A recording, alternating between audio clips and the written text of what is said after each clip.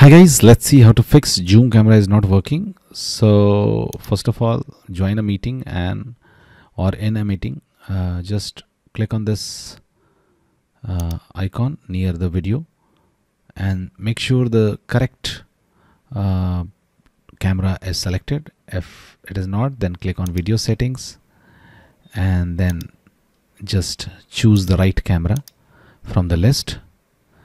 Now, if this does not work, there is one more thing which you can do and that is just right click on start button and click on settings. Now click on privacy and security and scroll down and find camera. Click on camera and make sure the camera access is on. And also let's app access these camera is also turned on.